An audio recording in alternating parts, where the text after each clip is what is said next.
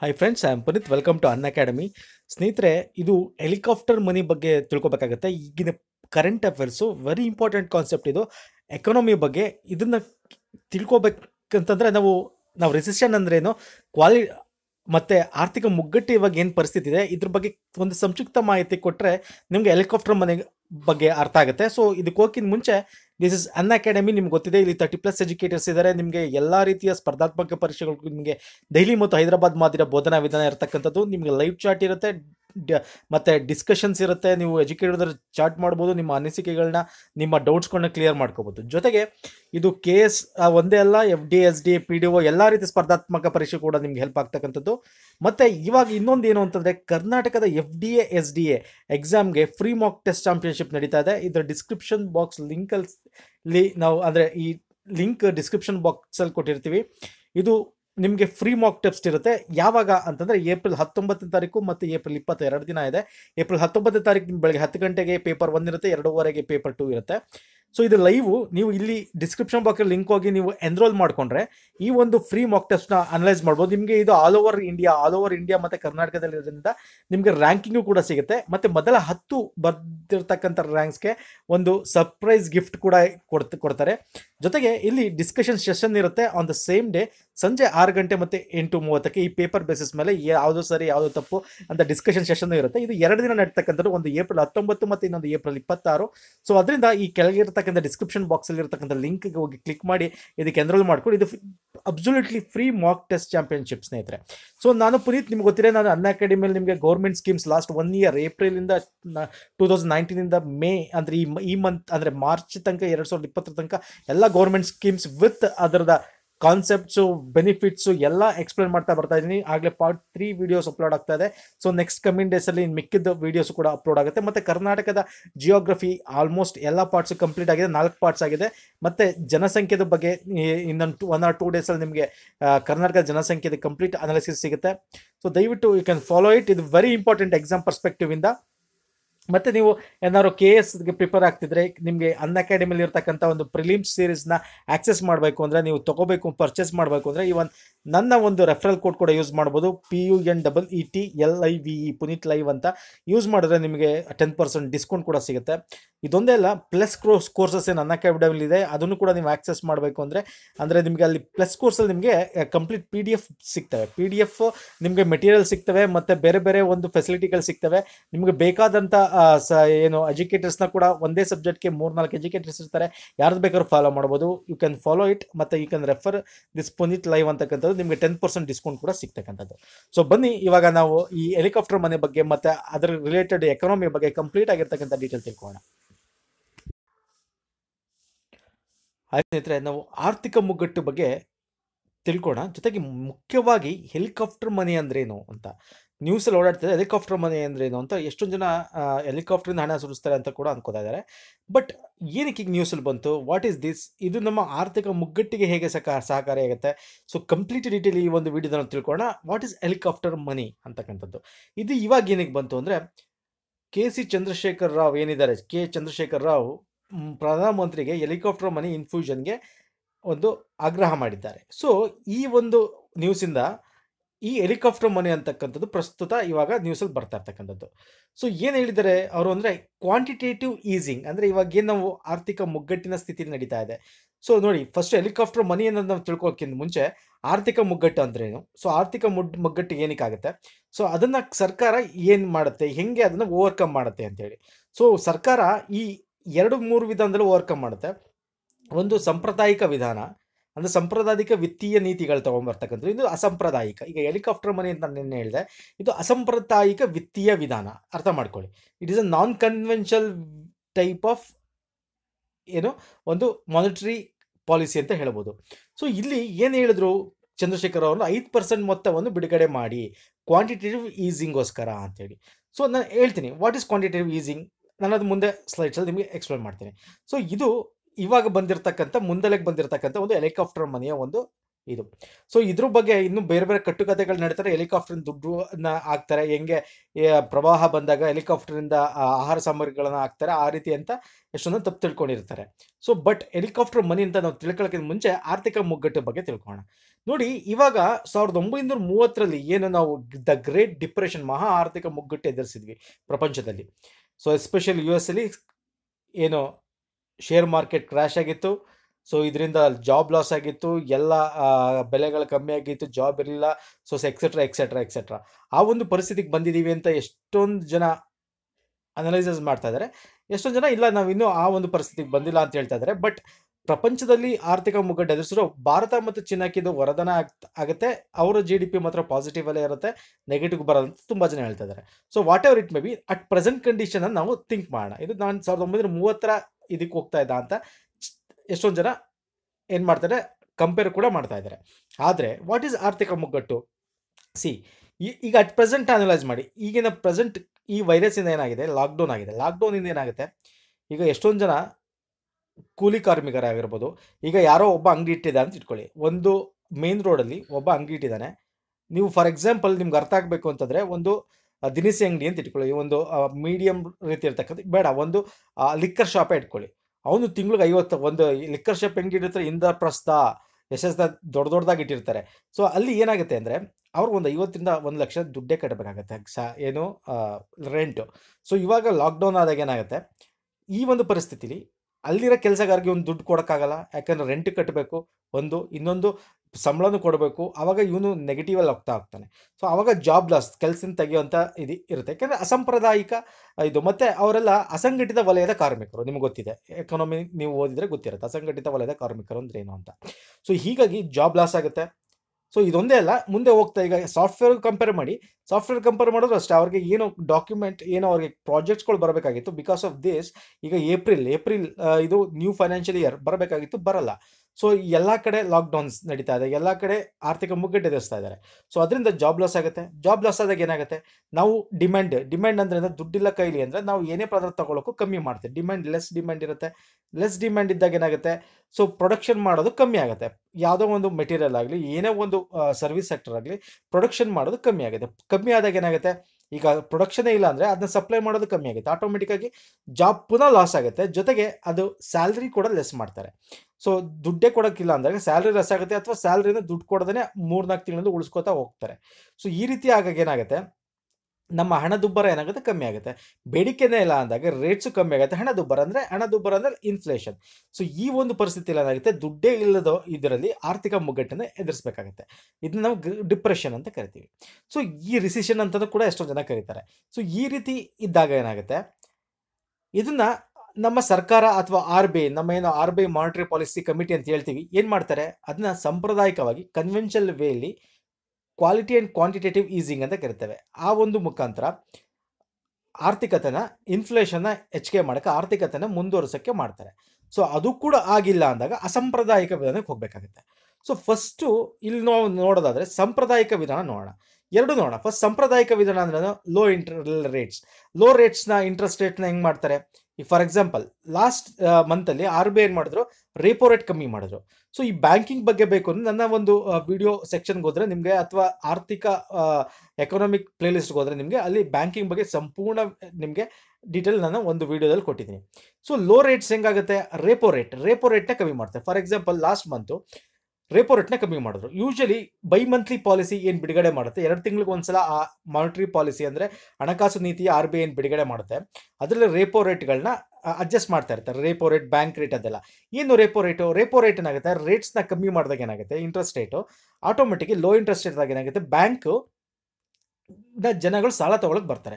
High interest rate ಸಾಲ ತಗೊಳಕ್ ಬರಲ್ಲ. ಅವಾಗ ಏನಾಗುತ್ತೆ? ದುಡ್ಡು ಫ್ಲೋ ಆಗುತ್ತೆ. ಮನಿ ಫ್ಲೋ ಆದಾಗ ಏನಾಗುತ್ತೆ? ಜನಗಳು ಸಾಲ ತಗೊಂಡು ಅದನ್ನ ಇನ್ವೆಸ್ಟ್ ಮಾಡ್ತಾರೆ. ಬೇರೆ ಒಂದು ಇದಕ್ಕೆ ಖರ್ಚು ಮಾಡ್ತಾರೆ. ಸೊ ಆಟೋಮೆಟಿಕ್ ಆಗಿ ಏನಾಗುತ್ತೆ? ಇನ್ಫ್ಲೇಷನ್ ಅಂದ್ರೆ ಹಣದುಬ್ಬರ ಹೆಚ್ಚಾಗ್ತಾ ಹೋಗುತ್ತೆ. ಬೇಡಿಕೆ ಹೆಚ್ಚಾಗ್ತಾ ಹೋಗುತ್ತೆ. ಒಂದು. ಈಗ ಲಾಸ್ಟ್ ಮಂತಲ್ಲಿ ಏನು ಮಾಡಿದ್ರು? ಆರ್ ಬಿ ಐ ಸೆ ಪಾಯಿಂಟ್ ಸೆವೆನ್ ಫೈವ್ ಬೇಸಿಸ್ ಅಂದರೆ ಎಪ್ಪತ್ತೈದು ಬೇಸಿಸ್ ಪಾಯಿಂಟ್ಸು ಕಮ್ಮಿ ಮಾಡಿದ್ರು. ಯೂಶಲಿ ಪ್ರತಿ ಬೈ ಮಂತ್ಲಿ ಪಾಲಿಸಿಯಲ್ಲಿ ಪಾಯಿಂಟ್ ಟೂ ಫೈವ್ ಬೇಸಿಸ್ನಷ್ಟು ಕಮ್ಮಿ ಮಾಡ್ತಾ ಇದ್ರು. Repo rate reverse repo rate but last ಎರಡು month two time last previous bimonthly policy ನೋಡಿದ್ರೆ ಇದನ್ನ ಜಾಸ್ತಿ ಮಾಡಿದ್ದಾರೆ. ನೋಡಿ for example repo rate seven ನೋಡಿ ಪ್ರೀವಿಯಸ್ ರೇಟು ಐದು ಪಾಯಿಂಟ್ ಒಂದು ಐದು ಇದ್ರೆ ಈಗ ಲಾಸ್ಟ್ ಮಂತಲ್ಲಿ ರೀಸೆಂಟ್ ಆಗಿರ್ತಕ್ಕಂಥ ರೇಪೋ ರೇಟು ನಾಲ್ಕು ಪಾಯಿಂಟ್ ನಾಲ್ಕು ಜೀರೋ ಇದು ಸೆವೆಂಟಿ ಫೈವ್ ಬೇಸಿಸ್ ಪಾಯಿಂಟ್ಸ್ ಕಮ್ಮಿ ಮಾಡಿದ್ದಾರೆ. ಇನ್ನು reverse repo ninety basis usually reverse rate also repo rate ಅಷ್ಟೇ ರಿವರ್ಸ್ ಆಗ್ತಾ ಇತ್ತು, ಆದರೆ ನೈಂಟಿ ಕಮ್ಮಿ ಮಾಡಿದ್ದಾರೆ. ಮತ್ತೆ cash reserve ratio C R R ಅಂತ ಕೇಳಿ ಕರಿತೀವಿ. ಅದೇನು ಗೌರ್ಮೆಂಟ್ ಏನು ಬ್ಯಾಂಕಿಂಗ್ ಏನಿದೆ, ಅದು ಆರ್ ಬಿ ಐ ಹತ್ರ ದುಡ್ಡನ್ನ ಮುಂದಕ್ಕೆ ಏನಾದ್ರು ದಿವಾಳಿತನ ಆದರೆ ಆ ದುಡ್ಡು ಉಪಯೋಗಿಸ್ಬೇಕು ಅಂತ ಒಂದಷ್ಟು ರಿಸರ್ವ್ ಆಗಿ ಇಟ್ಟಿರ್ತಾರೆ. ಸೊ ಅದಕ್ಕೆ ಬಡ್ಡಿ ಬರಲ್ಲ. ಸೊ ಅದು ಎಷ್ಟು ಪರ್ಸೆಂಟ್ ಇರಬೇಕು? ಅದು ವಹಿವಾಟಲ್ಲಿ ಅಂದರೆ ಫೋರ್ ಪರ್ಸೆಂಟ್ ಇತ್ತು. ಆದರೆ ಈ ಮ ನ್ಯೂ ಬೈ ಮಂತ್ಲಿ ಪಾಲಿಸಿಲಿ ಏನು ಮಾಡಿದ್ರೆ ತ್ರೀ ಪರ್ಸೆಂಟ್ ಕಳಿಸಿದ್ದಾರೆ. ಸೊ ಇದೆಲ್ಲ ಏನಾಗುತ್ತೆ ಅಂದರೆ ಕನ್ವೆನ್ಷನಲ್ ವೇ ಸಾಂಪ್ರದಾಯಿಕ ವಿಧಾನಗಳು. ಸೊ ಇದನ್ನು ನಾನು ನಿಮ್ಗೆ ಹೇಳ್ತಾ ಇರೋದು. ಸಾಂಪ್ರದಾಯಿಕ ವಿಧಾನದಿಂದ ಲೋ ಇಂಟ್ರೆಸ್ಟ್ ರೇಟ್ಸ್ ಏನಾಗಿದೆ? ಕಮ್ಮಿ ಮಾಡ್ತಾರೆ. ಆವಾಗ through repo rate monthly policy bimonthly policy ಕಮಿಟಿಯಿಂದ ಮಾಡ್ತಾರೆ. ಸೊ ಇನ್ನು for example negative rates negative rates ಅಂದರೆ ನಿಮಗೆ ಯು ಎಸ್ ಎಲ್ಲ ಏನಾಗಿದೆ? ರೇಪೋ ರೇಟ್ಸ್ಗಳು ನೆಗೆ rates rate of interest bank rate ಅಂತ ನಾವು ಏನು ಕರಿತೀವಿ? ಅಲ್ಲಿ ಫೆಡರಲ್ ಬ್ಯಾಂಕ್ಗಳಿಗೆ ಏನು ಮಾಡಿದೆ? ಕಮ್ಮಿ ರೇಟ್ಸ್ ತಂದ್ಬಿಟ್ಟಿದೆ. ಅಂದರೆ ನಿಮಗೆ ಒಂದು one percent point one two ಪರ್ಸೆಂಟ್ಗೆ ಬಂದು ನಿಂತಿದೆ. ಅದನ್ನ ನೆಗೆಟಿವ್ ರೇಟ್ಸ್ ಅಂತ ಹೇಳ್ತೀವಿ. ಅಂತಂದರೆ ನೂರು ರೂಪಾಯಿ ನೀವು ಒಂದು ಸಾವಿರ ರೂಪಾಯಿ ತೊಗೊಂಡ್ರೆ ಅದಕ್ಕೊಂದು ಐದು ರೂಪಾಯಿನ, ಎರಡು ರೂಪಾಯಿನ, ಮೂರು ರೂಪಾಯಿನ ಬಡ್ಡಿ ಇರುತ್ತೆ. ಸೊ ಈ ರೀತಿ ಕಮ್ಮಿ ಇಂಟ್ರೆಸ್ಟ್ ರೇಟ್ ನೆಗೆಟಿವ್ ರೇಟ್ಸ್ ಅಂತ ಹೇಳ್ತೀವಿ. ಇದು ಕೂಡ ಏನಾಗುತ್ತೆ? ಕನ್ವೆನ್ಷನಲ್ ವೇ ಆಫ್ ಡೂಯಿಂಗ್ ಅಂತ ಹೇಳ್ತೀವಿ. ಮತ್ತು ಕ್ವಾಂಟಿಟೇಟಿವ್ ಈಸಿಂಗ್ ಅಂತ ಹೇಳಿದೆ. ಈ ಕ್ವಾಂಟಿಟೇಟಿವ್ ಈಸಿಂಗು ನಾನ್ ಕನ್ವೆನ್ಷನಲ್ ವೇಗೆ ಬರುತ್ತೆ. ಜೊತೆಗೆ ಈ ಕ್ವಾಂಟಿಟೇಟಿವ್ ಈಸಲ್ಲಿ ಕನ್ವೆನ್ಷನಲ್ ವೇ ಕೂಡ ಇದೆ. ಏನದು ಕನ್ವೆನ್ಷನಲ್ ವೇ ಸಾಂಪ್ರದಾಯಿಕ ವಿಧಾನ ಅಂತಂದ್ರೆ, ಈಗ ಇನ್ನೊಂದು ರೀತಿ ಹೆಂಗ್ ಮಾಡ್ಬೋದಪ್ಪ? ಅಂದ್ರೆ ಈಗ ಬ್ಯಾಂಕ್, ಸರ್ಕಾರ ಏನು ಮಾಡುತ್ತೆ? ಬಾಂಡ್ನ ರಿಲೀಸ್ ಮಾಡುತ್ತೆ. ಯಾವುದು ಸರ್ಕಾರದ ಬಾಂಡ್ಗಳು ಅದನ್ನ ಬ್ಯಾಂಕಲ್ಲಾಗಲಿ ಇಂಡಿವಿಜುವಲ್ ಆಗಲಿ ಖರೀದಿ ಮಾಡಿದಾಗ ಏನಾಗುತ್ತೆ? ಆ ಬಾಂಡ್ಗಳನ್ನ ತಗೊಂಡಾಗ ಏನಾಗುತ್ತೆ? ದುಡ್ಡು ಸರ್ಕಾರಕ್ಕೆ ಬರುತ್ತೆ. ಆಗ ಸರ್ಕಾರಕ್ಕೆ ಬಂದಾಗ ಏನಾಗುತ್ತೆ? ಸರ್ಕಾರ ಏನು ಮಾಡುತ್ತೆ? ಗೌರ್ಮೆಂಟ್ ಎಕ್ಸ್ಪೆಂಡಿಚರ್ ಮಾಡುತ್ತೆ. ಎಕ್ಸ್ಪೆಂಡಿಚರ್ ಅಂದರೆ ಸಾಮಾಜಿಕ ಮತ್ತು ಆರ್ಥಿಕತೆಗೆ ಏನಕ್ಕೆ ಬೇಕಾಗಿದೆ? ಇನ್ಫ್ರಾಸ್ಟ್ರಕ್ಚರ್ಗಾಗಿರ್ಬೋದು ಬೇರೆ ಬೇರೆ ಒಂದು ಇದರಲ್ಲಾಗಿರ್ಬೋದು ದುಡ್ಡು ಇನ್ವೆಸ್ಟ್ ಮಾಡುತ್ತೆ. ಅವಾಗ ಜಾಬ್ ಕ್ರಿಯೇಷನ್ ಆಗುತ್ತೆ. ಜೊತೆಗೆ ದುಡ್ಡು ಕೂಡ ಬರ್ತಾ ಹೋಗುತ್ತೆ. ಸೊ ಈ ರೀತಿ ಇದೆಲ್ಲ ಸಾಂಪ್ರದಾಯಿಕ ವಿಧಾನ. ಇಷ್ಟೆಲ್ಲ ಮಾಡಿ ಕೂಡ ಏನಾಗುತ್ತೆ? ನಮಗೆ ದುಡ್ಡು ನಮ್ಮ ಆರ್ಥಿಕತೆ ಮುಂದುವರೆದಿಲ್ಲ. ಇನ್ಫ್ಲೇಷನ್ ಅಂತ ಹಣದುಬ್ಬರ ಸ್ವಲ್ಪ ಮಟ್ಟಿಗೆ ಜಾಸ್ತಿ ಆಗಿಲ್ಲ. ಈ ರೀತಿ ಆದಾಗ ಏನಾಗುತ್ತೆ? ಅನ್ಕನ್ವೆನ್ಷನಲ್ ವೇ, ಅಸಾಂಪ್ರದಾಯಿಕ ವಿತ್ತೀಯ ವಿಧಾನ ಅನುಸರಿಸಬೇಕಾಗುತ್ತೆ. ಅದನ್ನೇ ನಾವು ಈ ಈ ಹೆಲಿಕಾಪ್ಟರ್ ಮನಿ ಇದೆಯಲ್ಲ, ಅದೇ ಅಸಾಂಪ್ರದಾಯಿಕ ವಿತ್ತೀಯ ವಿಧಾನ.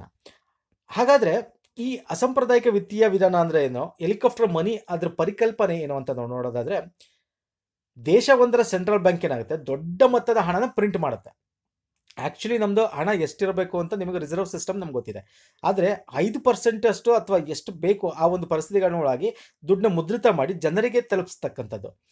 ಇದು ಏನಾಗುತ್ತೆ ಗೊತ್ತಾ? ಈಗ ಜನರಿಗೆ ತಲುಪಿಸೋದು ವಾಪಸ್ ಕೊಡಬೇಕಾಗಿರಲ್ಲ ಈ ದುಡ್ಡು. ಈ ಜನರಿಗೆ ಏನು ದುಡ್ಡು ಕೊಡುತ್ತೆ? ಇದು ವಾಪಸ್ ಕೊಡಬೇಕಾಗಿಲ್ಲ. ಈ ಒಂದು ಪರಿಸ್ಥಿತಿಯಿಂದ ಏನಾಗುತ್ತೆ? ಜನರು ಏನು ಮಾಡ್ತಾರೆ? ಆ ದುಡ್ಡನ್ನ ಖರ್ಚು ಮಾಡೋಕ್ಕೆ ಮಾಡಬೇಕಾಗತ್ತೆ ಆ ದುಡ್ಡನ್ನ. ಒಂದು ಪರ್ಶ ಒಂದು ಅದೇ ಒಂದು ಷರತ್ತು. ಏನಂದ್ರೆ ಹಣವನ್ನು ಜನರು ಖರ್ಚು ಮಾಡಬೇಕಾಗುತ್ತೆ. ಸೊ ಈ ಒಂದು ವಿಧಾನನ ಅಸಾಂಪ್ರದಾಯಿಕ ವಿಧಾನ ಅಂತ ಕರಿತೀವಿ. ಇದನ್ನೇ ತೆಲಂಗಾಣದ ಸಿ ಎಂ ಸರ್ಕಾರಕ್ಕೆ ಐದು ಪರ್ಸೆಂಟೇಜ್ ದುಡ್ಡು ಕೊಡಿ ಅಂತ ಹೇಳಿರ್ತಕ್ಕಂಥದ್ದು. ಸೊ ಅಂದರೆ ಹೆಚ್ಚಿಗೆ ಪ್ರಿಂಟ್ ಮಾಡಿ ಕೊಡಿ ಅಂತ. ಏನು ಹಾಗಾದ್ರೆ? ಇದನ್ನ ಅಸಾಂಪ್ರದಾಯಿಕ ವಿಧಾನ ಅಂತ ಕರಿತೇವೆ. ಹಾಗಾದ್ರೆ ಈ ಹೆಲಿಕಾಪ್ಟರ್ ಮನಿ ಅಂತಂದ್ರೆ ಏನು ಅಂತಂದ್ರೆ ಈ ದುಡ್ಡನ್ನ ಪ್ರಿಂಟ್ ಮಾಡಿ ಹೆಂಗೆ ಕೊಡೋದು ಅಂತ ಹೇಳಿ. ಸೊ ಇದನ್ನ ಬಗ್ಗೆ ನಾವು ನೋಡೋದಾದ್ರೆ ಅದು ವಿತರಣೆ ಮಾಡೋದು ಡೈರೆಕ್ಟ್ ಮನಿ ಟ್ರಾನ್ಸ್ಫರ್ ಇಂದ ಮಾಡ್ತಾರೆ. ಡೈರೆಕ್ಟ್ ಮನಿ ಟ್ರಾನ್ಸ್ಫರ್ ಅಂದ್ರೆ ಏನು ಜನರ ಅಕೌಂಟ್ಗಳಿಗೆ ದುಡ್ಡು ಸರ್ಕಾರನೇ ಕೊಡ್ತಕ್ಕಂಥದ್ದು. ನೋಡಿ, ಈಗ ಸಾಲ ತಗೊಳ್ಳೋದ್ರಿಂದ ಏನಾಗುತ್ತೆ? ಸಾಲ ತಗೊಂಡಾಗ ಜನರು ಏನು ಮಾಡ್ತಾರೆ? ಅದನ್ನ ಖರ್ಚು ಮಾಡೋಕ್ಕಾಗಲ್ಲ. ಅಂದ್ರೆ ಖರ್ಚು ಮಾಡ್ಬೇಕಾದ್ರೆ ಹಿಂದೆ ಮುಂದೆ ನೋಡ್ತಾರೆ. ಯಾಕಂದ್ರೆ ಕೊನೆಗೆ ಆ ಸಾಲ ಅವರು ವಾಪಸ್ ಕೊಡಲೇಬೇಕಾಗುತ್ತೆ. ಆದರೆ ಈ ಒಂದು ಹೆಲಿಕಾಪ್ಟರ್ ಮನಿ ಅಸಾಂಪ್ರದಾಯಿಕ ವಿಧಾನ ನಾನ್ ಕನ್ವೆನ್ಷನಲ್ ವೇ ವಿತ್ತೀಯ ಪಾಲಿಸಿ ಏನಿದೆ? ಅಂದರೆ ಮಾನಿಟರಿ ಪಾಲಿಸಿ ಇದ್ರ ಪ್ರಕಾರ ದುಡ್ಡು ವಾಪಸ್ ಕೊಡಂಗಿರಲ್ಲ. ಅವಾಗ ಏನು ಮಾಡ್ತಾರೆ ಜನ? ವಾಪಸ್ ಕೊಡೋಂಗಿಲ್ಲ ಅಂದರೆ ಅವ್ರಿಗೆ ಬೇಕಾದಂಗೆ ಖರ್ಚು ಮಾಡ್ಕೋಬೋದು. ಸೊ ಬೇ, ಖರ್ಚು ಮಾಡ್ತಾರೆ ಅಂತಕ್ಕಂಥ ಒಂದು ವಿಧಾನ. ಅದಕ್ಕೆ ಡೈರೆಕ್ಟಾಗಿ ಅವ್ರ ಅಕೌಂಟ್ಗೆ ಟ್ರಾನ್ಸ್ಫರ್ ಮಾಡೋದು. ನಿಮ್ಗೆ ಗೊತ್ತಿದೆ ಇವಾಗ ಡಿಜಿಟಲ್ನೆಸ್ ಇದೆ, ನಿಮ್ಗೆ ಬಡವರಿಗೋಸ್ಕರ ಜನ್ಧನ್ ಅಕೌಂಟ್ ಇದೆ, ಮತ್ತು ಬೇರೆ ಬೇರೆ ಸೋಷಿಯಲ್ ಅಸಿಸ್ಟೆನ್ಸ್ ಸ್ಕೀಮ್ಗಳಿವೆ ಅಂದರೆ ಅಂಗವಿಕಲರಾಗಿರ್ಬೋದು ಬ ವಯಸ್ಸಾಗಿರೋ ಆಗಿರ್ಬೋದು ಇದು ಮತ್ತು ವಿಧವೆಗಿರ್ಬೋದು ಆ ಮುಖಾಂತರ ದುಡ್ಡು ಕೊಡೋದು ಅವ್ರಿಗೆ. ಸೊ ಖರ್ಚು ಮಾಡಲಿ ಹೇಳಿ. ಸೊ ಈ ರೀತಿ. ಇದಲ್ಲದೆ ಈಗ ಕಾರ್ಪೊರೇಟ್ ಸೆಕ್ಟರ್ ಮತ್ತು ಇನ್ಕಮ್ ಟ್ಯಾಕ್ಸ್ ಕಟ್ಟೋರಿಗೆ ಕಾರ್ಪೊರೇಟ್ ಟ್ಯಾಕ್ಸ್ ಇನ್ಕಮ್ ಟ್ಯಾಕ್ಸ್ನ ಮನ್ನಾ ಮಾಡೋದು. ಈಗ ಅವರು ಒಂದಷ್ಟು ಲಕ್ಷ ಕಟ್ಟಬೇಕು ಕೋಟಿ ಕೊಡಬೇಕಾಗತ್ತೆ. ಅದರಲ್ಲಿ ಐವತ್ತು ಪರ್ಸೆಂಟ್ ಮನ್ನಾ ಮಾಡೋದು ಎಪ್ಪತ್ತು ಪರ್ಸೆಂಟ್ ಮನ್ನಾ ಮಾಡೋದು. ಆಗ ಆ ದುಡ್ಡು ಏನು ಮಾಡ್ತಾರೆ? ಆ ಒಂದು ಕಂಪ್ನಿ ಆಗಿರ್ಬೋದು, ಆ ಜನರ ಇನ್ಕಮ್ ಟ್ಯಾಕ್ಸ್ ಕಟ್ಟೋರು ಏನಾಗಿರ್ಬೋದು, ಅದನ್ನು ಅವರು ಎಕ್ಸ್ಪೆನ್ಸ್ ಮಾಡ್ತಾರೆ. ಅಂದರೆ ಆ ಸರ್ಕಾರ ಕಟ್ಟೋ ದುಡ್ಡನ್ನ ಅವರು ಇಟ್ಕೊಂಡು ಅದನ್ನ ಇನ್ವೆಸ್ಟ್ ಮಾಡ್ತಾರೆ ಅಥವಾ ಇನ್ನೊಂದು ಕಡೆ ಅದನ್ನ ಖರ್ಚು ಮಾಡ್ತಾರೆ ಆರಾಮಾಗಿ. ಸೊ ಯಾಕಂದ್ರೆ ಕಟ್ಟಂಗಿರಲ್ಲ ಅದು ವಾಪಸ್ಸು. ಸೊ ಇದನ್ನ ಹೆಲಿಕಾಪ್ಟರ್ ಮನಿ ಈ ರೀತಿ ನಾವು ವಿತರಣೆ ಮಾಡ್ಬೋದು. ಇದು ಅದು ಬಿಟ್ಟರೆ ಗೋರ್ಮೆಂಟ್ ಇನ್ವೆಸ್ಟ್ಮೆಂಟ್ ಈಗ ದುಡ್ಡನ್ನ ಪ್ರಿಂಟ್ ಮಾಡಿ ಏನಾಗುತ್ತೆ? ಆರ್ ಬಿ ಐ ಗೋರ್ಮೆಂಟ್ ಕೊಟ್ಟಿರುತ್ತಲ್ಲ, ಅದು ವಾಪಸ್ ಆರ್ ಬಿ ಐಗೆ ದುಡ್ಡು ಸರ್ಕಾರ ಕೊಡಂಗಿಲ್ಲ. ಅದನ್ನ ಡೈರೆಕ್ಟ್ ಆಗಿ ಗೋರ್ಮೆಂಟ್ ಗೌರ್ಮೆಂಟ್ ಏನು ಮಾಡೋದು? ಇನ್ವೆಸ್ಟ್ಮೆಂಟ್ ಮಾಡಿ ಒಂದು ಎಕನಾಮಿಕ್ ಡೆವಲಪ್ಮೆಂಟ್ಗೆ ಯುಟಿಲೈಸ್ ಮಾಡ್ಕೋಬೋದು. ಒಂದು. ಸೊ ಈ ರೀತಿ ಹೆಲಿಕಾಪ್ಟರ್ ಮನಿನ ವಿತರಣೆ ಮಾಡ್ತಕ್ಕಂಥದ್ದು. ಸೊ ಇಲ್ಲಿ ವೆರಿ ಇಂಪಾರ್ಟೆಂಟ್ ಥಿಂಗ್ ಏನು ಅಂತಂದ್ರೆ, ಈ ಹೆಲಿಕಾಪ್ಟರ್ ಮನಿ ಏನು ವಿತರಣೆ ಆಗುತ್ತೆ? ಇದರಿಂದ ನಮ್ಮ ಒಂದು ಆರ್ಥಿಕತೆ ಕನ್ವೆನ್ಷನಲ್ ವೇ ಅಂದರೆ ಸಾಂಪ್ರದಾಯಿಕವಾಗಿ ಆಗಲಿಲ್ಲ ಅಂದರೆ ಅಟ್ಲೀಸ್ಟ್ ಈ ಮುಖಾಂತರ ಆಗಲೂ ಆಗಬೇಕು ಅಂತಕ್ಕಂಥದ್ದು. ಸೊ ಇಲ್ಲಿ ಇದು ಫಸ್ಟ್ ಟೈಮ್ ಆರ್ತಿ ಹೆಲಿಕಾಪ್ಟರ್ ಮನಿ ಇವಾಗ ನ್ಯೂಸಲ್ಲಿ ಇರೋದು ಅಂದರೆ ಆ್ಯಕ್ಚುಲಿ ಇದನ್ನು ಪ್ರಯೋಗ ಮಾಡಿದವರು ಯಾರು ಅಂದರೆ ಮಿಲ್ಟನ್ ಫ್ರಿಡ್ ಮ್ಯಾನ್ ಅಂತಕ್ಕಂಥವ್ರು, ಅಮೆರಿಕದ ಅರ್ಥಶಾಸ್ತ್ರಜ್ಞ. ಸಾವಿರದ ಒಂಬೈನೂರ ಅರವತ್ತರಲ್ಲಿ ಅವರು the optimum quantity of money ಅಂತ ಒಂದು ಪ್ರಬಂಧ ಬರ್ತಿದ್ರು ಇದು ಮಿಲ್ಟನ್ ಥಿಯರಿ ಅಂತಲೇ ಕರೀತಾರೆ. ಅವರೊಂದು ಥಿಯರಿ ಥೀಸಿಸ್ನ ಮೆನ್ಷನ್ ಮಾಡಿದ್ರು. ಆಪ್ಟಿಮಮ್ ಕ್ವಾಂಟಿಟಿ ಆಫ್ ಮನಿ ಅಂತ. ಇದರಲ್ಲಿ ಅವರು ಹೆಲಿಕಾಪ್ಟರ್ ಮನಿ ಕಾನ್ಸೆಪ್ಟ್ಗೆ ಹೊರ ಜಗತ್ತಿಗೆ ಪರಿಚಯಿಸಿದ್ರು. ವೆರಿ ಇಂಪಾರ್ಟೆಂಟ್ ಇದು. ಯಾರು? ಮಿಲ್ಟನ್ ಫ್ರೀಡ್ ಮ್ಯಾನ್ ಅಂತಕ್ಕಂಥವ್ರು. ಸೊ ಇದು ಅಸಾಂಪ್ರದಾಯಿಕ ವಿಧಾನ. ಇದನ್ನ ಏನು ಮಾಡ್ಬೋದು? ಸರ್ಕಾರ ಪುನಶ್ಚೇತಕ ಅಂದರೆ ಅದರ ಪುನಶ್ಚೇತಕ ಆರ್ಥಿಕ ಸಂಕಷ್ಟದಿಂದ ಪುನಶ್ಚೇತ ಮಾಡೋಕ್ಕೋಸ್ಕರ ಇದನ್ನ ಸಿಮ್ ಸ್ಟಿಮ್ಯುಲಸ್ ಪ್ಯಾಕೇಜ್ ಅಂತ ಕೂಡ ಕರೀತಾರೆ. ಅಂದರೆ ಇನ್ಫ್ಯೂಷನ್ ಮಾಡ್ತಕ್ಕಂಥದ್ದು. ಅಂದರೆ ನಮ್ಮ ಒಂದು ಪಬ್ಲಿಕ್ಗೆ ಇನ್ಫೋಜನ್ ಮಾಡ್ತಕ್ಕಂಥದ್ದು, ಇದು ಪುನಶ್ಚೇತನ ಮಾಡ್ತಕ್ಕಂಥದ್ದು ಅಂತ ಹೇಳಿ ಕರೀತಾರೆ. ಸೊ ಈ ಮಿಲ್ಟನ್ ಫ್ರಿಡ್ರರ್ ಬಗ್ಗೆ ನೋಡಿದ್ರೆ ಇವ್ರ ಎಕನಾಮಿಸ್ಟ್ ನಾನು ನಿಮ್ಗೆ ಆಗಲೇ ಹೇಳಿದೆ, ಇವ್ರ ಬಗ್ಗೆ ಡೀಟೇಲ್ ಇದೆ. So you can go through it so ಇವ್ರಿಗೆ ನೊಬೆಲ್ ಪ್ರೈಸ್ ಬೇರೆ ಸಿಕ್ಕಿದೆ ಸಾವಿರದ ಒಂಬೈನೂರ ಎಪ್ಪತ್ತಾರರಲ್ಲಿ ಎಕನಾಮಿಕ್ಸ್ ಒಂದಿದ್ರಲ್ಲಿ. ಸೊ ಇವರು ಅಡ್ವೈಸರ್ ಟು ಪ್ರೆಸಿಡೆಂಟ್ ನಿಕ್ಸಾನ್ಗೂ ಕೂಡ ಅಡ್ವೈಸರ್ ಆಗಿ ಕೆಲಸ ಕೂಡ ಮಾಡಿದ್ದಾರೆ. ಸೊ ಅವ್ರು ಎಷ್ಟೊಂದು ಥಿಯರಿಗಳನ್ನ ಕೂಡ ಮಾಡಿದ್ದಾರೆ. ಸೊ ಹಾಗಾದ್ರೆ ಮಿಲ್ಟನ್ ಥಿಯರಿ ಪ್ರಕಾರ ಏನು? ಅಂದರೆ ದೇಶವೊಂದಕ್ಕೆ ಆರ್ಥಿಕ ಬಿಕ್ಕಟ್ಟಿದ್ದಾಗ, ನಾನು ಇದನ್ನ ನಿಮಗೆ ಎಕ್ಸ್ಪ್ಲೇನ್ ಮಾಡಿದ್ದೀನಿ. ಸೊ ಆಗ ಕಾರ್ಖಾನೆಯಲ್ಲಿ ಉತ್ಪಾದನೆ ಸಾಮರ್ಥ್ಯ ಕಮ್ಮಿ ಆಗಿರುತ್ತೆ, ಬೇಡಿಕೆ ಇರಲ್ಲ ಜಾಬ್ ಲಾಸ್ ಆಗಿರುತ್ತೆ. ಸೊ ಆಗ ನೆಗೆಟಿವ್ ಇರುತ್ತಲ್ಲ, ದೇಶೀಯ ಉತ್ಪನ್ನ ಅದನ್ನ ಪಾಸಿಟಿವ್ ತರಕ್ಕೋಸ್ಕರ ಈ ಒಂದು ಹೆಲಿಕಾಪ್ಟರ್ ಮನೆಯ ಮಾರ್ಗವನ್ನ, ಅಸಾಂಪ್ರದಾಯಿಕ ಮಾರ್ಗವನ್ನ ಅನುಸರಿಸಿ ಮುಂದಕ್ಕೆ ತರೋದು ಅಂತಕ್ಕಂಥದ್ದು ಮಿಲ್ಟನ್ ಥಿಯರಿ ಓಕೆ ಇದನ್ನ ನಾನು ಡೀಟೇಲ್ ಆಗಿ ನಿಮ್ಗೆ ಎಕ್ಸ್ಪ್ಲೇನ್ ಮಾಡಿದ್ದೀನಿ. ಸೊ ಹಾಗಾದ್ರೆ ಇದನ್ನ ಫಸ್ಟ್ ಟೈಮ ಮಾಡ್ತಾ ಇರೋದು ಮಿಲ್ಟನ್ ಥಿಯರಿ ಅಂದ್ರೆ ಏನು ಈ ಹೆಲಿಕಾಪ್ಟರ್ ಮನಿ ಫಸ್ಟ್ ಟೈಮ ಈ ರೀತಿ ಅಸಾಂಪ್ರದಾಯಿಕ ಪದ್ಧತಿ ಫಸ್ಟ್ ಟೈಮ್ ಅಂದ್ರೆ ಆಕ್ಚುಲಿ ಇದನ್ನ ನಾವು ಪ್ರೀವಿಯಸ್ ನೋಡೋದಾದ್ರೆ, ನಮ್ಮ ಹಿಸ್ಟ್ರಿ ನೋಡೋದಾದ್ರೆ, ಆಫ್ರಿಕಾದಲ್ಲೆಲ್ಲ ಇದನ್ನು ಮಾಡಿ ಇದರಿಂದ ಕಷ್ಟನೂ ಕೂಡ ಅನುಭವಿಸಿದ್ದಾರೆ. ಸೊ ಹಾಗಾದ್ರೆ ಏನು ಕಷ್ಟ ಆಗುತ್ತೆ ಅಂತ ನಾವು ನೋಡ್ರೆ ಅನಾನುಕೂಲತೆ ಇಲ್ವಾ? ಇದ್ರಲ್ಲಿ ಸೈಡ್ ಎಫೆಕ್ಟ್ ಇಲ್ವಾ ಅಂದರೆ ಇದೆ. ಏನು ಕಷ್ಟ ಆಗುತ್ತೆ? ನೋಡಿ ಫಾರ್ ಎಕ್ಸಾಂಪಲ್ ನಾವು ದುಡ್ಡನ್ನ ಹೆಚ್ಚಿಗೆ ಪ್ರಿಂಟ್ ಮಾಡಿದಷ್ಟೇನಾಗುತ್ತೆ ನಮ್ಮ ಒಂದು ರೂಪಾಯಿ ಮೌಲ್ಯ ಕಮ್ಮಿ ಆಗುತ್ತೆ. ಅಪಮೌಲ್ಯ ಆಗುತ್ತೆ. ಅಂತಂದರೆ ಈಗ ನಮ್ಮ ಡಾಲರ್ಗೆ ಏನೋ ಒಂದು ಎಪ್ಪತ್ತೈ ಐದು ರೂಪಾಯಿ ಇದ್ದರೆ ಇವಾಗ ಎಂಬತ್ತು ರೂಪಾಯಿ ಆಗ್ಬೋದು. ನಾವು ಎಷ್ಟು ದುಡ್ಡನ್ನ ಇನ್ಫ್ಯೂಷನ್ ಮಾಡ್ತೀವಿ, ಅದ್ರ ಮೇಲೆ ಡಿಪೆಂಡ್ ಆಗುತ್ತೆ. ಸೊ ಜಾಸ್ತಿ ದುಡ್ಡು ಸಿಕ್ಕಿದಾಗ ಏನಾಗುತ್ತೆ? ಹರಿದಾಡ್ಬೇಕಾದ್ರೆ ಏನಾಗುತ್ತೆ? ನಮ್ಮ ರೂಪಾಯಿ ಬೇರೆ ಡೆವಲಪ್ ಮಾಡಿದ್ರೆ ಅಪಮೌಲ್ಯ ಆಗ್ತಕ್ಕಂಥದ್ದು, ಒಂದು. ಸೊ ಇನ್ನೊಂದು ಖರ್ಚು ಮಾಡೋದಿರೋದು, ಮಾಡೋದಿರಬಹುದು ಅನ್ನೋ ಒಂದು ಇದು. ಅಂದರೆ ದುಡ್ಡನ್ನ ಈಗ ಆಫ್ರಿಕಾ ನಾನು ಏನು ಹೇಳಿದೆ, ಕೆಲವು ರಾಷ್ಟ್ರಗಳು ಇದನ್ನ ಇಷ್ಟಲ್ಲಿ ಮಾಡಿದಾಗ ಏನಾಗುತ್ತೆ? ಬ್ಯಾಕ್ ಸೈಡ್ ನೋಡಿದಾಗ, ಅಲ್ಲಿ ಖರ್ಚು ಮಾಡ್ದೇ ಸೇವ್ ಮಾಡ್ಕೊಳ್ಳೋ, ಈಗ ಈಗಿನ ಪರಿಸ್ಥಿತಿ ನೋಡಿದಾಗ ಏನಾಗುತ್ತೆ? ಜನರು ದುಡ್ಡು ಸಿಕ್ಕ ತಕ್ಷಣ ಫ್ರೀಯಾಗಿ ಕೊಡಂಗಿಲ್ಲ. ಬಟ್ ಮುಂದೆ ಗತಿ ಏನು? ಮುಂದೆನೂ ಇದು ಮುಂದುವರಿಯಬಹುದಾ? ಏನಾಗುತ್ತೆ ಅಂತೇಳಿ ದುಡ್ಡನ್ನ ಖರ್ಚು ಮಾಡದೆ ತಮ್ಮಷ್ಟಕ್ಕೆ ತಾವೇ ಇಟ್ಕೋಬಹುದು ಸೊ ಇದರಿಂದ ಏನಾಗುತ್ತೆ? ತಮ್ಮಷ್ಟಕ್ಕೆ ತಾವೇ ದುಡ್ಡನ್ನ ಅವರು ಇಟ್ಕೊಂಡಾಗ ಏನಾಗುತ್ತೆ? ಎಗೇನ್ ಸೇಮ್ ಆರ್ಥಿಕ ಮುಗ್ಗಟ್ಟಲ್ಲೇ ಇರುತ್ತೆ. ಆರ್ಥಿಕತೆ ಮುಂದುವರೆಯಕ್ಕೆ ಸಾಗಲ್ಲ. ಇನ್ಫ್ಲೇಷನ್ ಅಂದ್ರೆ ಹಣದುಬ್ಬರ ಬಡಿಯಲ್ಲ. ಒಂದು. ಇನ್ನೊಂದು ಹೈಪರ್ ಇನ್ಫ್ಲೇಷನ್ ಆಗೋ ಸಾಧ್ಯತೆ ಕೂಡ ಜಾಸ್ತಿ. ಅಧಿಕ ಹಣದುಬ್ಬರ ಆಗೋ ಸಾಧ್ಯತೆ ಇರುತ್ತೆ. ಹೆಂಗೆ? ದುಡ್ಡು ಇನ್ಫ್ಯೂಷನ್ ಮಾಡಿದಾಗ ಏನಾಗುತ್ತೆ? ದುಡ್ಡು ಖರ್ಚು ಜಾಸ್ತಿ ಆಗ್ತಾ ಇರುತ್ತೆ. ಫಸ್ಟ್ ಆಫ್ ಆಲ್ ಏನಾಗಿರುತ್ತೆ ಆರ್ಥಿಕ ಮುಗ್ಗಟ್ಟಿಂದ ಪ್ರೊಡಕ್ಷನ್ ಕಮ್ಮಿ ಆಗಿರುತ್ತೆ. ದುಡ್ಡು ಜಾಸ್ತಿ ಬಂದಾಗ ಏನಾಗುತ್ತೆ? ಬೇಡಿಕೆ ಜಾಸ್ತಿ ಆಗುತ್ತೆ. ಅದರ ಪ್ರೊಡಕ್ಷನ್ ಇನ್ನೂ ಆಗಿರಲ್ಲ. ದುಡ್ಡು ಸಡನ್ ಆಗಿ ಬಂದ ತಕ್ಷಣ, ಬೇಡಿಕೆ ಬಂದ ತಕ್ಷಣ ಪ್ರೊಡಕ್ಷನ್ ನಮಗೆ ನಮ್ಗೆ ಬೇಕಾಗಿರೋ ಮೆಟೀರಿಯಲ್ ಗೂಡ್ಸ್ ಸಿಗಲ್ಲ. ಅದಕ್ಕೆ ಅದರದೇ ಟೈಮ್ ಇರುತ್ತೆ ಮಾರ್ಕೆಟ್ಗೆ ಬರಬೇಕು ಅಂತಂದ್ರೆ. ಸೊ ಅದಕ್ಕೆ ಅದರದೇ ಆದ ಒಂದು ಹ್ಯೂಮನ್ ಸೋರ್ ಸೋರ್ಸ್ ಬೇಕು ಕೆಲಸ ಮಾಡೋಕ್ಕೆ. ಸೊ ಅದರಿಂದ ಅದು ಟೈಮ್ ಬೇಕಾಗುತ್ತೆ. ಆದರೆ ಆ ಟೈಮಲ್ಲಿ ಏನಾಗುತ್ತೆ? ದುಡ್ಡು ಸಡನ್ ಆಗಿ ಇದಾದಾಗ ಪದಾರ್ಥಗಳು ಸಿಗಲ್ಲ, ರೇಟ್ಗಳು ಬಡಿ ಜಾಸ್ತಿ ಆಗ್ತವೆ, ಹೈಪರ್ ಇನ್ಫ್ಲೇಷನ್ ಆಗುತ್ತೆ, ಬೆಲೆ ಕಂಟ್ರೋಲ್ ಮಾಡೋಕ್ಕಾಗಲ್ಲ, ಇದರಿಂದ ಕೂಡ ನಮ್ಮ ಆರ್ಥಿಕತೆ ಮೇಲೆ ಎಫೆಕ್ಟ್ ಬೀಳ್ತಕ್ಕಂಥದ್ದು. ಸೊ ಅಧಿಕ ಹಣದುಬ್ಬರ ಆಗ್ತದೆ. ಇದೆಲ್ಲ ನೆಗೆಟಿವ್ ಥಿಂಗ್ಸ್ ಅನಾನುಕೂಲಗಳು side effects so for example at ಈಗಿನ ಒಂದು ಪರಿಸ್ಥಿತಿಲಿ ಎರಡು ಸಾವಿರದ ಹದಿನಾರಲ್ಲೂ ಕೂಡ ಒಂದು ಸ್ಮಾಲ್ ಡಿಪ್ರೆಷನ್ ಏನು ಆಗ್ತಾ ಇತ್ತು, ಅಂದರೆ ಒಂದು ರಿಸಿಷನ್ ಟೈಮಲ್ಲಿ ಈವನ್ ಜಪಾನಲ್ಲೂ ಕೂಡ ಇನ್ವೆಸ್ಟ್ ಮಾಡಬೇಕು ಅಂತ ಮಾಡಿ ಮಾಡಿರ್ತಾರೆ. ಆದರೆ ಅಲ್ಲಿನ ಆರ್ಥಿಕ ಒಂದು ಸ್ಪೆಷಲಿಸ್ಟ್ಗಳು ಏನು ಹೇಳ್ತಾರೆ, ತಡೀತಾರೆ ಅದನ್ನು. ಈ ರೀತಿ ಮಾಡಿದಾಗ ಏನಾಗುತ್ತೆ ಖರ್ಚಾಗಲ್ಲ ಮತ್ತು ಹೈಪರ್ ಇನ್ಫ್ಲೇಷನ್ ಪಡೆಯುವಂಥ ಚಾನ್ಸಸ್ ಇದೆ. ಅದಕ್ಕೆ ಹೆಲಿಕಾಪ್ಟರ್ ಮನೆಗೆ ಹೋಗಬಾರ್ದು ಅಂತ ಹೇಳಿ ಮಾಡಿರೋವಂಥ ಒಂದು ಉದಾಹರಣೆ ಕೂಡ ಜಪಾನಲ್ಲಿದೆ.